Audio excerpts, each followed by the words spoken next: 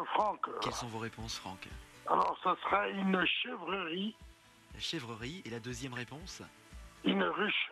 Et la ruche. Ruche, excellente idée. Ben voilà. Très bien joué, ça, Franck. C'est une bonne réponse. Je vous offre 125 euros avec la ruche. Ah bah, c'est simple. Allez, on continue. Vous avez bien raison de jouer avec moi. Ce soir, on vient d'offrir 125 euros à Franck.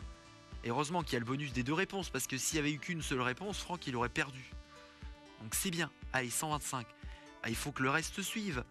Qu'est-ce qu'on peut trouver dans une ferme, à part une ruche?